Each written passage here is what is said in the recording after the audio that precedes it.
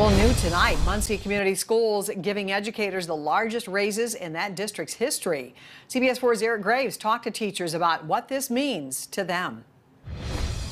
After two difficult years of teaching through a pandemic, teachers here in Muncie schools are going to become some of the highest paid in the state. School leaders say it's helping teachers to stick around. I honestly jumped up and did a happy dance. Shock. Shock and awe, really. Teachers in Muncie Community Schools are getting the largest raise in district history. Northside Middle School teacher James Foster Jr. and his wife both work in the school system. It's definitely going to make our vacations better, for sure.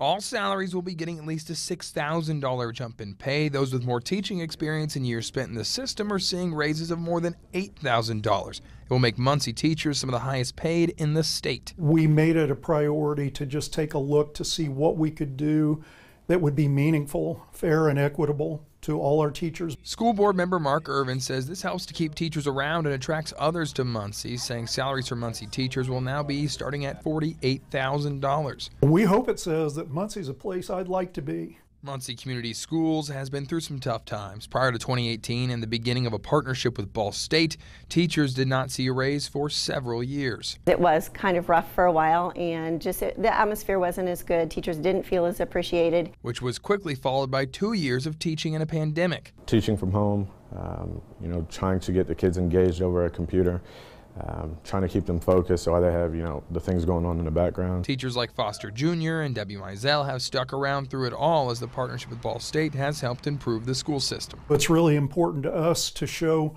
that their leap of faith can be rewarded. The raises will cost Muncie schools $2.4 million.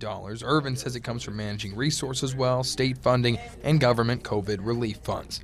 The best of the best teachers will also get some added recognition. The school system has set aside $12,000 for Teacher of the Year bonuses. Reporting in Muncie, Eric Graves, CBS 4 News.